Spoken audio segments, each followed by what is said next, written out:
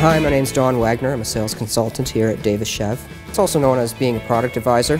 So show people cars and find out what uh, what they're looking for, and feels good to, you know, helping people get their vehicles. You know, it's a basic need, and that's what I'm here to help do. If I could only eat one thing for the rest of my life, it would probably be falafel pitas. I think I could survive on that. I could live on that. If I had one superpower, it would be multiple man. I could be in two or three, four places at once. I, I think the main goal for me is just making sure that my family is happy. You know, if, if, if I can do that every day, then I've accomplished my goal in life. So thanks very much for your interest in our website, and uh, hopefully I'll see you on the sales floor sometime soon.